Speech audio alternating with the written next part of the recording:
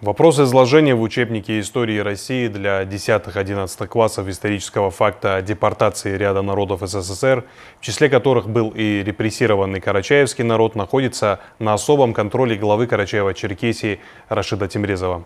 Ранее глава республики при встрече с министром просвещения России Сергеем Кравцовым договорились о дальнейших действиях по справедливому изложению темы репрессий в учебнике. Представители науки высоко оценили гражданскую позицию главы региона по недопущению искажения исторической правды. Подробнее расскажет Алихан Лепшоков. Искажение исторической правды является недопустимым, и поэтому подобная информация не должна присутствовать в учебниках по истории России. Созданную рабочую группу, в которой вошли главы субъектов, чьи народы были репрессированы, вошел и глава Карачаева-Черкесии Рашид Тимрезов. Они довели до автора книги Владимира Бединского о необходимости исправления данной главы.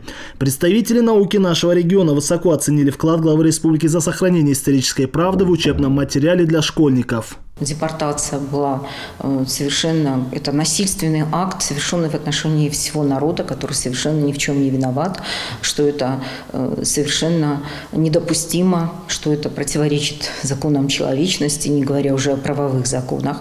Соответственно, э, первоначально общественные организации регионов, а затем и главы республик, и здесь большой респект главе Карачаево-Черкесской республики Рашиду Борисовичу Тимрезову, они обратились в Министерство просвещения э, с тем, что этот учебник, в частности абзац данного параграфа, необходимо убрать или совершенно по-другому изложить. Глава республики Рашид Темрезов отметил, что репрессии в отношении целых народов нашей многонациональной страны являются несправедливостью и преступлением, и мы со своей стороны благодарны ему за его гражданскую позицию в этом вопросе, отмечают представители научной интеллигенции. Здесь глава республики проявил не просто свою гражданскую позицию.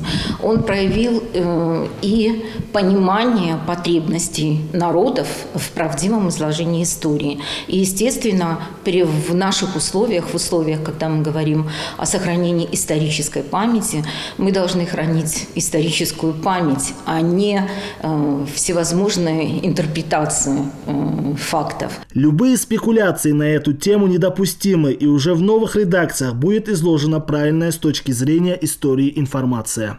Алихан Лепшоков, Олег Малхожев, Вести Карачаева-Черкесия.